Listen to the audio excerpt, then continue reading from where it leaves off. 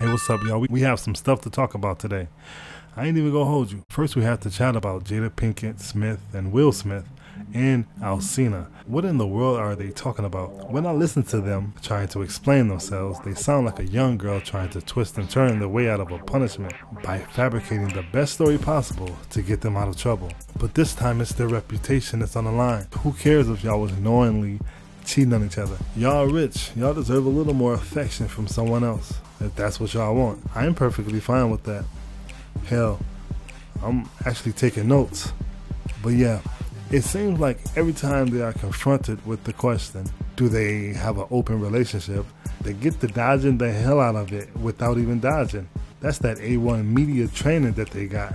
Will is allowed to mess with other women on the side, and Jada is allowed to mess with other men on the side only if they agree.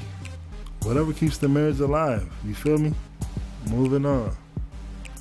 Teyana Taylor, most of you know her by her super ghetto roles such as The Trap with Mike Epps and T.I., Madea's Big Happy Family, Coming to America 2, and a plethora of other movies.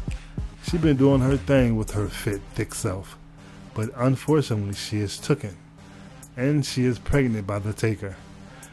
But this time, she is taking another route with the pregnancy. She is actually going to have Erykah Badu be the midwife. She had her first daughter, Iman, on her bathroom floor, so this should be a gigantic step up from that. She said she meditates, and Erykah has been very influential in her career, and that she would love for her to be her midwife.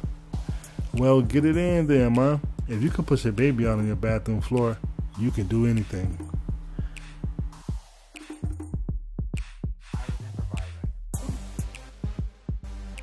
Coming to America 2 is set to release in December, right around the holidays. Yes, that's going to be a wonderful way to end this nightmare of 2020. Not the same director as before, John Landis, who did a perfect job with Coming to America 1, may I add. But they are bringing in director Craig Brewer, the guy who did Hustle and Flow and Black Snake Moan, and a few others. He also directed Dolemite is My Name, starring Eddie Murphy. Eddie must have had a good time doing Dolemite. To bring him back for an epic film like Coming to America 2, Eddie will be playing Hakeem as expected, and Lisa's character will also be the same. Same goes for the father for Lisa and Eddie.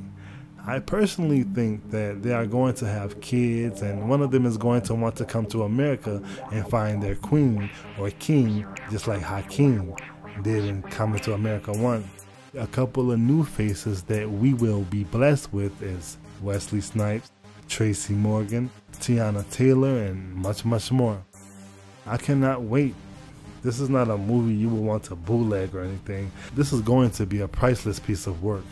I pray that the world doesn't end until after I've seen Coming to America 2. Thanks. Amen.